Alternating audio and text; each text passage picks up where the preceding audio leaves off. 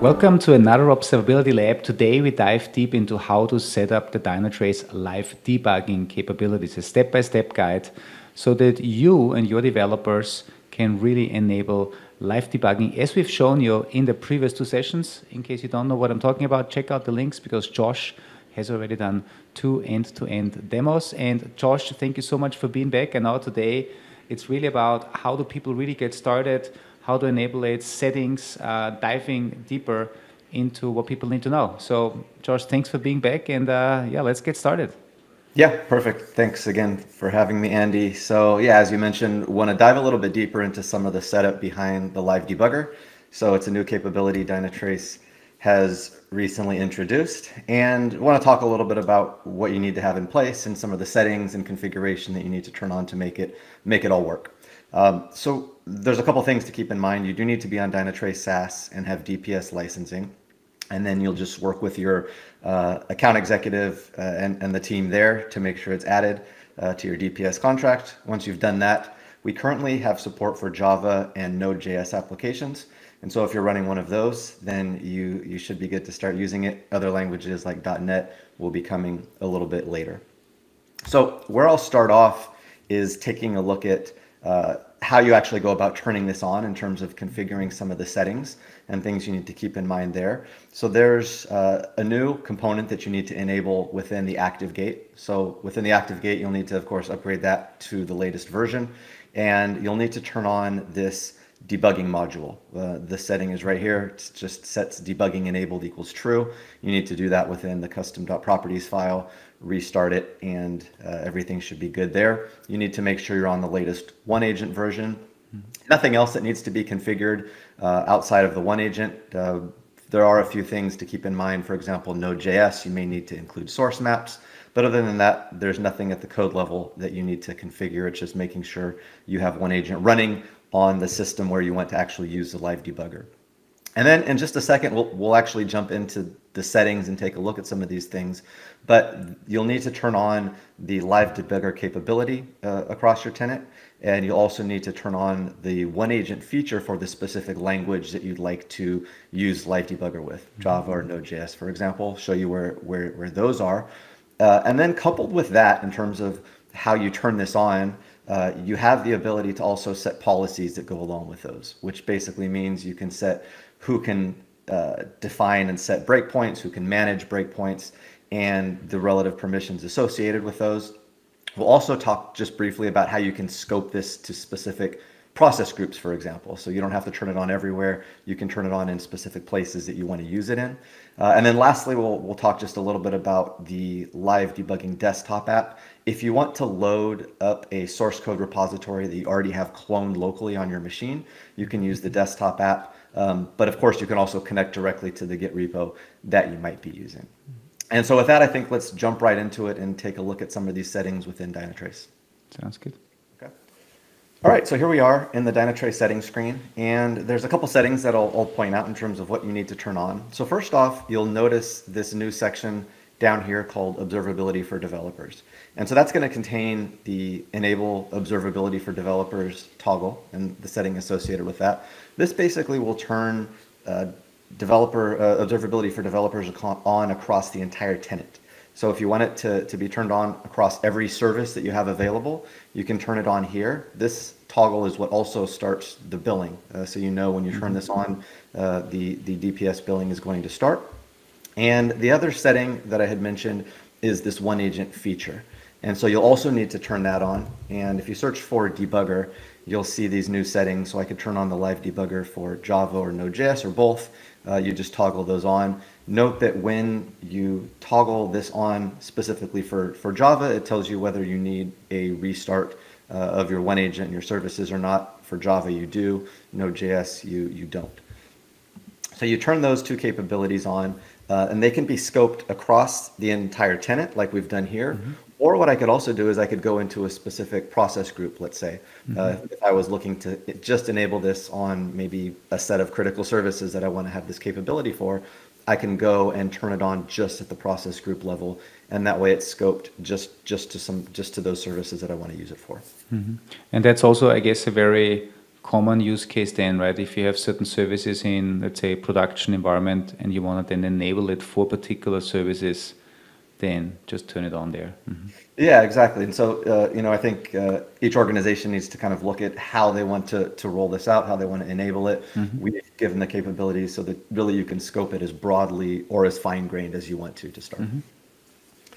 Um, and then so coupled with, with these settings here, uh, I'll, I'll want to look at the policies as well. So you also need to define uh, some, some IAM policies, and I'm just going to jump into the policy screen here.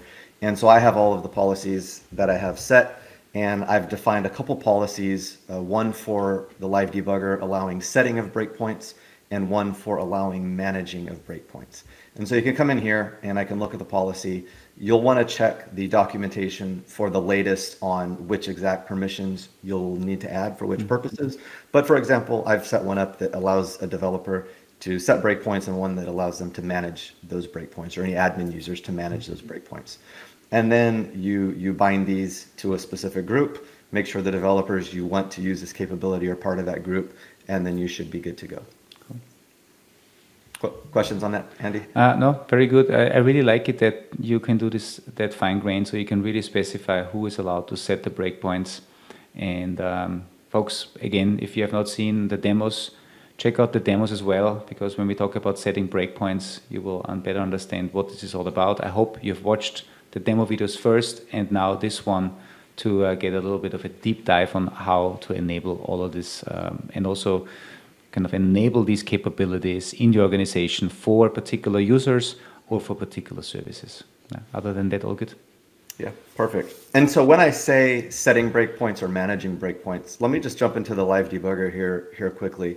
Uh, and, and so if you have the set breakpoint uh, policy on what you'll be able to do is you'll be able to come in, click on a line of code, set one of these non-breaking breakpoints, as you saw in some of the prior videos, and then collect data anytime that that non-breaking breakpoint is hit. And the, on the other side of things, if you have the manage breakpoint settings, you will see this new screen up here at the top that allows you to go in and manage all of the breakpoints across your organization, not just your own breakpoints, but let's say somebody else has set a breakpoint in a production environment and they went on vacation or they left mm-hmm. the company and you wanted to come in here and turn this off, you can of course come in and manage all of those from a single place as long as you have that that managed policy. Cool. And uh, Josh, maybe out of curiosity, I would assume that in most organizations you would have uh, the developers that need the breakpoints probably just have the setting the breakpoint, and then you have like more like some admin teams maybe um, yeah. used to manage. Exactly. Yeah. Exactly. Exactly. So kind of everyday, you know, power users that just want to be able to to debug, to mm-hmm. collect mm-hmm. data um, just use it kind of a normal basis. You can have that, and then the admins who want to be able to manage things on a broader level can have cool. that, that managed setting. In conjunction with that as well, by the way, you may also want to keep in mind that if you're setting breakpoints in areas where you have sensitive data, mm-hmm. uh, you may also want to have the the data masking capability yeah. Yeah. set up. And so as an admin, you can define those rules as well. Yeah, I've received. Uh, I was at KubeCon last week, and we had a lot of discussions around this. And this was a, you know, a very common question. So how can you configure that not everything is captured because there might be sensitive data?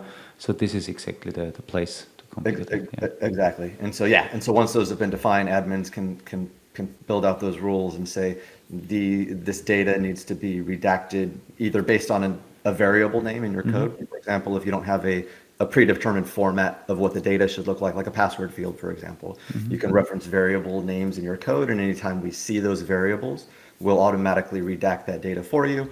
Or you can take the other approach where we scan the data itself and look for credit card numbers or any other type of, of sensitive data. And anytime we match those patterns, automatically redact that data uh, from the, the snapshots that mm-hmm. we're capturing. Mm-hmm. And so uh, last couple things that I'll that I'll show some of the additional configuration that we didn't really get into in the last videos. What we were looking at in the last videos was how do I set a breakpoint, take a look at the snapshot, analyze the data, um, and, and and look at things from there. But there are also a couple more advanced things that you can do with some of these breakpoints. For example, I could right click on any breakpoint that I configure, and I can bring up some advanced settings which allow me to configure a few additional settings on the breakpoints themselves.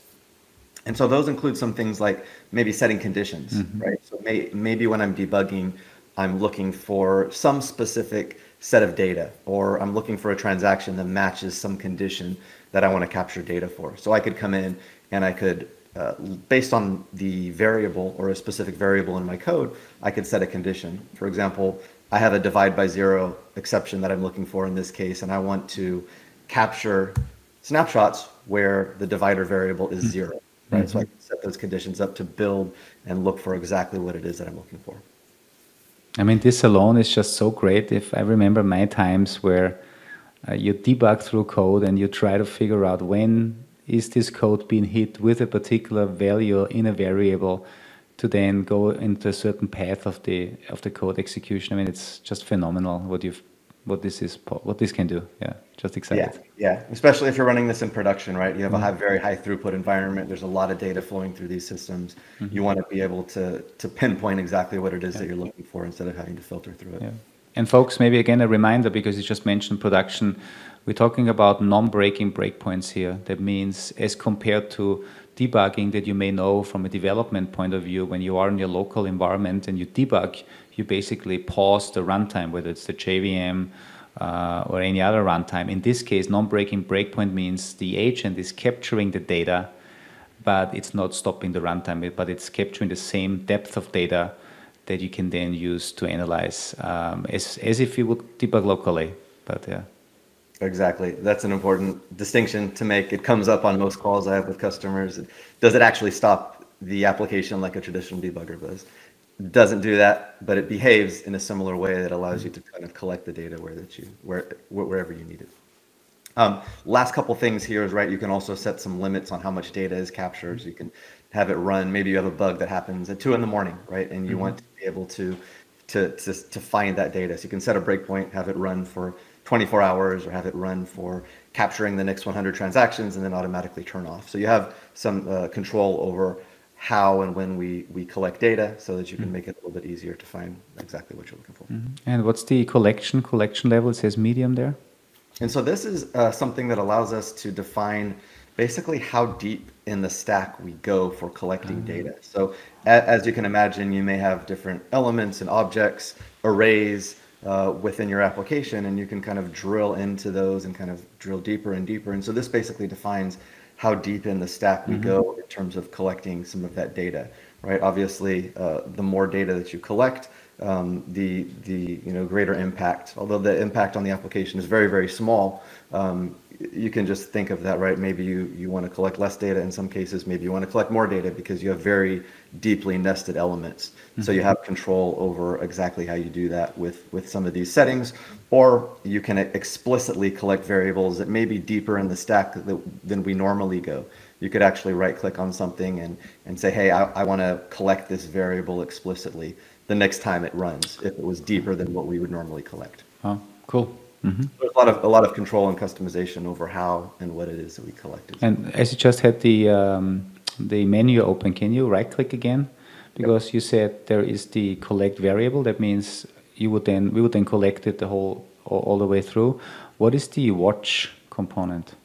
Yeah, so the watch allows you to add something to the table over here. So ah. maybe I want to watch, for example, the the trace ID and take a look at those. So I could click watch, and it would show up in the menu here and allow me to to search, right? Oh, so I could cool. type in and start searching for specific data that I'm uh-huh. looking for and filter that. So it's a nice way to to kind of capture something and then maybe you're looking for specific data within that transaction, mm-hmm. filter on it. And so you can use conditions to filter before we collect the data, or you can use the search here to filter after we collect the mm-hmm. data. Mm-hmm.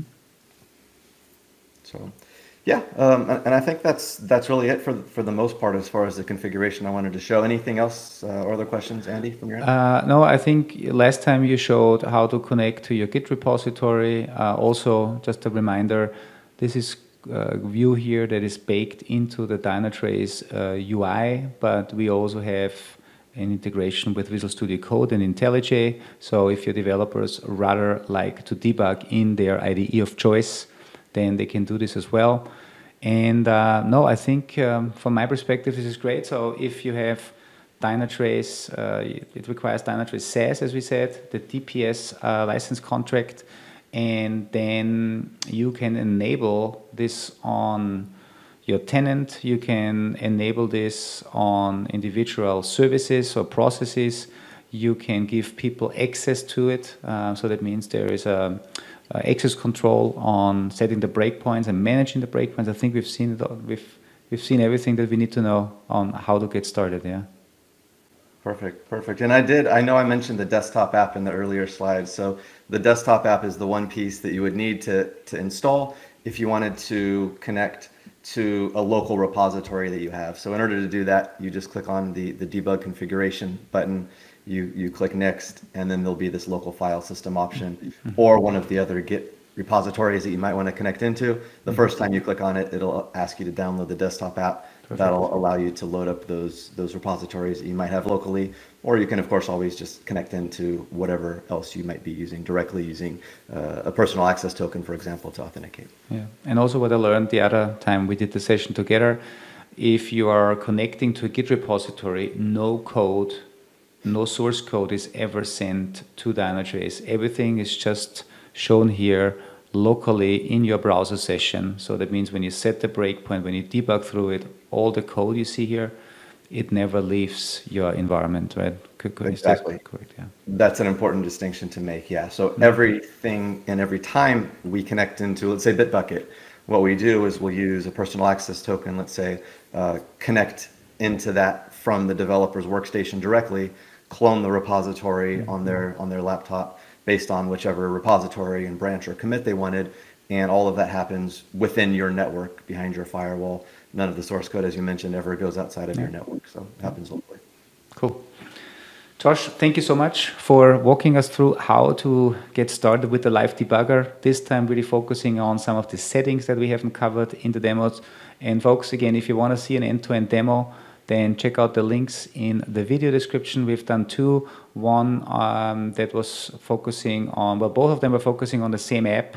Uh, the um, the one was also focusing on OpenTelemetry.